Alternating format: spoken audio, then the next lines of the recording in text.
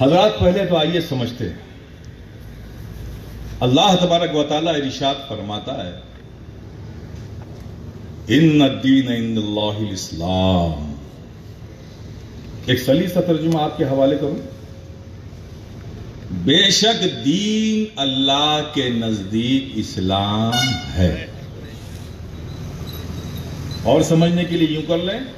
اسلام ہی وہ دین ہے جو رب کو پسند ہے۔ جو رب کو پسند وہ ہم سب کو پسند ہے نا؟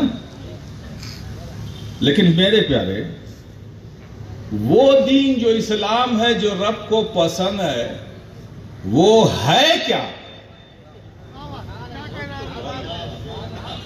وہ اسلام جو رب کو پسند ہے وہ ہے کیا؟ اتنی گفتگو سننے کے بعد میری سمجھ میں آیا کہ آج اسی کا تعارف کرایا جائے۔ چونکہ مارکیٹ میں ڈیفرنٹ ٹائپ کے اسلام جو ہیں پروڈیوس کر دیے گئے ہیں۔ تو اب جان لینا ضروری ہے کہ وہ اسلام جو رب کو پسند ہے وہ ہے کیا؟ وہ اسلام جس کے ماننے والے کو مسلمان نہ ماننے والے کو ہم کافر کہتے ہیں وہ اسلام ہے کیا؟ لا اسلام کے تعارف میں وہ چیز جس کے تعارف سے اسلام کا تعارف ہو جائے جس کے مان لینے سے اسلام کا ماننا ہو جائے جس کے جان لینے سے اسلام کا جاننا ہو جائے۔ لا اسلام کا تعارف کراؤ اس کا پریچے کراؤ انٹروڈکشن کراؤ کیا ہے اسلام؟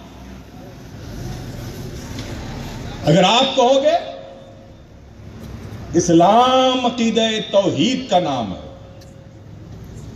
تو اگر اسلام صرف عقیدہ توحید کا نام ہے، تو جس کے جس کے پاس یہ عقیدہ ہے، ان سب کو مسلمان ہونا چاہیے۔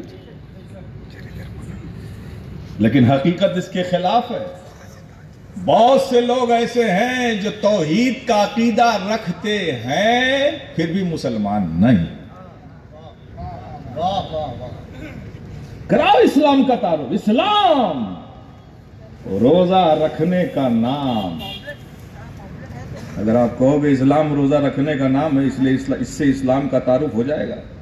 اگر اسلام صرف روزہ رکھنے کا نام ہوتا تو بھوکے رہنے کی شکلیں دوسرے کے پاس بھی ہیں۔ وہ بھی بھوکے رہتے ہیں ان سب کو مسلمان ہونا چاہیے۔ اسلام! نبوت پر عقیدے کا نام، اسلام، آخرت پر عقیدے کا نام، اسلام کتاب پر عقیدے کا نام۔ کیا یہ کہہ دینے سے بھی اسلام کا تعارف ہو جائے گا؟ اگر صرف یہ اسلام ہے، تو غیر محرف توریت کو ماننے والے یہی عقیدہ رکھتے ہیں۔ وہ بھی کتاب پر عقیدہ رکھتے ہیں، نبوت پر عقیدہ رکھتے ہیں، آخرت پر عقیدہ رکھتے ہیں۔ یہ سب عقیدہ رکھ کر بھی وہ مسلمان نہیں۔ پھر آخر اسلام کیا ہے؟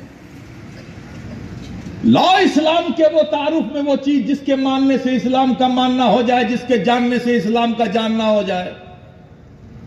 وہ اسلام ہے کیا؟ تعارف کراؤ۔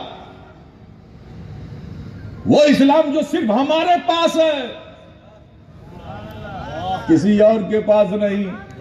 جسے ہم تو مانتے ہیں وہ غیر نہیں مانتے اسی نہ ماننے کی بنیاد پر ہم انہیں مسلمان نہیں سمجھتے۔ لاؤ اس اسلام کا تعارف کراؤ۔ وہ آخر کیا چیز ہے جسے صرف ہم مانتے ہیں غیر نہیں مانتے؟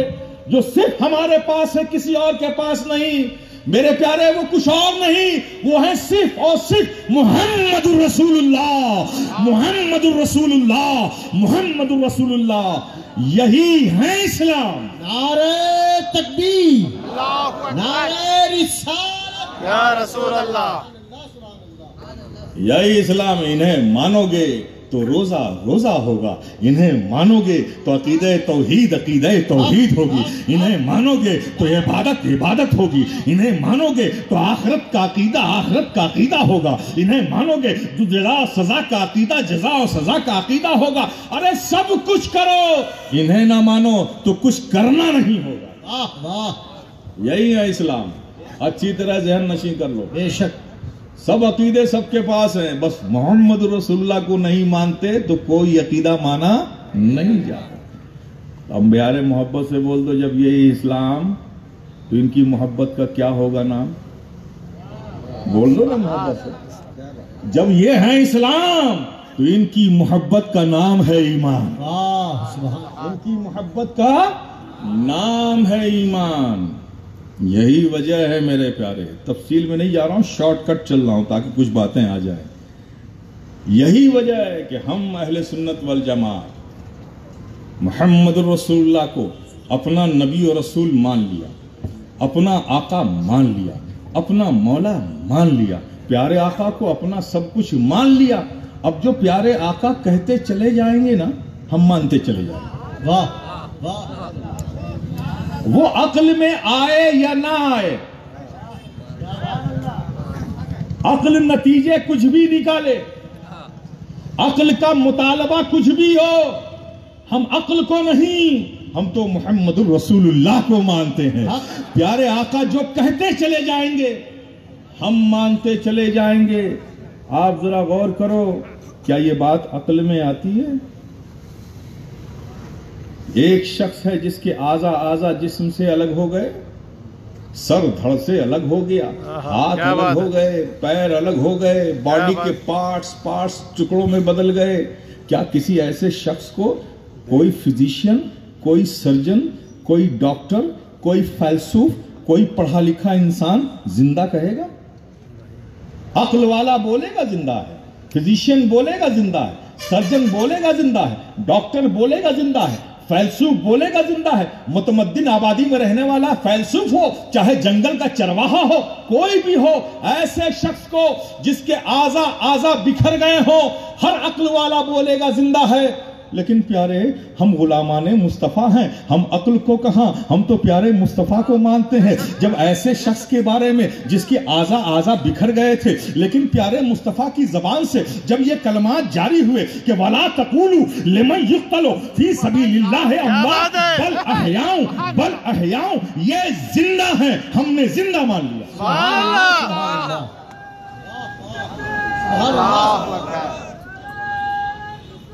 Senhoras